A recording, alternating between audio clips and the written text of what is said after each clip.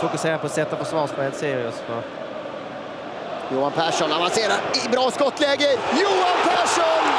Ska man göra ett första mål i Hammarbytröjan så gör man på det där sättet. Han har skjutit 3000 skott över under säsongen, utanför.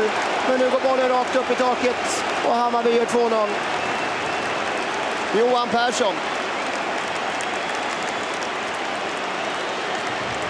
Nu är det 18 000, 19 000 där inne som säger för sig själva äntligen. Och jag tror att Johan tänker detsamma.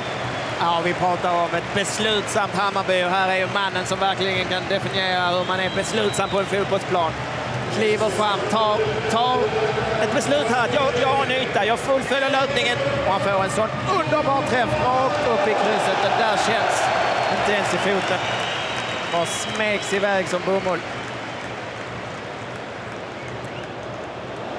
Oj, oj, oj, den borrar så på. Här blir en härlig vinkel vi kan få se den ifrån. Tackar. Sheriffen kallad eh, gör på det där sättet och det är tungt